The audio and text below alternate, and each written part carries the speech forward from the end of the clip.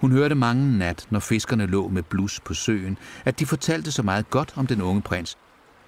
Og det glædede hende, at hun havde frelst hans liv, da han halvdød drev om på bølgerne. Og hun tænkte på, hvor fast hans hoved havde hvilet på hendes bryst, og hvor inderligt hun da kyssede ham. Han vidste slet intet derom, kunne ikke engang drømme om hende. Mere og mere kom hun til at holde af menneskene.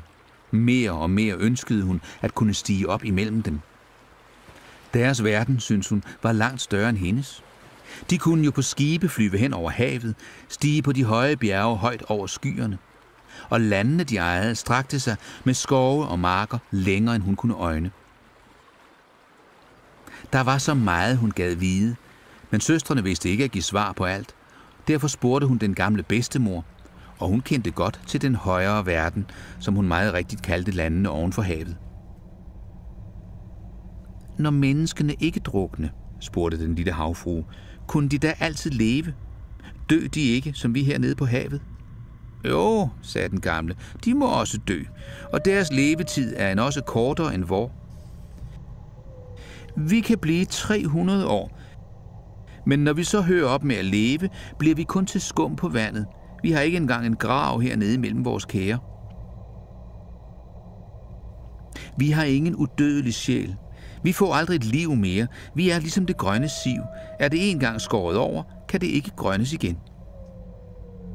Menneskene derimod har en sjæl, som lever altid. Lever efter at lægemet er blevet til jord. Den stiger op gennem den klare luft, op til alle de skinnende stjerner. Ligesom vi dykker op af havet og ser menneskenes lande, således dykker de op til ubekendte dejlige steder, dem vi aldrig får at se. Hvorfor fik vi ingen udødelig sjæl, sagde den lille havfru bedrøvet.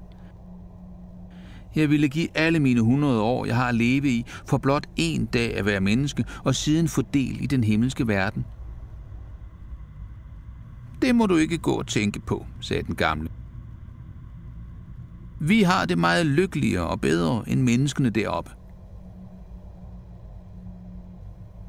Jeg skal altså dø og flyde som skum på søen, ikke høre bølgernes musik, se de dejlige blomster og den røde sol.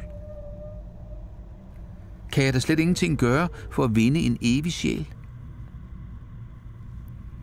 Nej, sagde den gamle. Kun når et menneske fatter så stor kærlighed til dig, at du er mere for ham end far og mor, når han med hele sin tanke og kærlighed hænger ved dig, og lader præsten lægge sin højre hånd i din, med løfte om troskab her og i al evighed. Da flød hans sjæl over i dit læme, og du fik også del i menneskenes lykke. Han gav dig sjæl og beholdt dog sin egen,